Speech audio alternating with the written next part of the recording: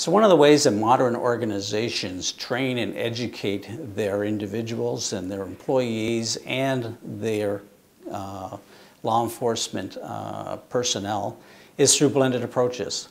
We are very fortunate to have the Interpol Global Learning Center, which is an e-learning platform that is available to all 190 nations. It is a eclectic group of courses that are put on a platform that are available to all members of the 190 nations.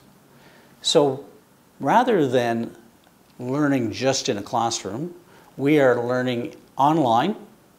We are taking that then to a classroom setting and advancing that.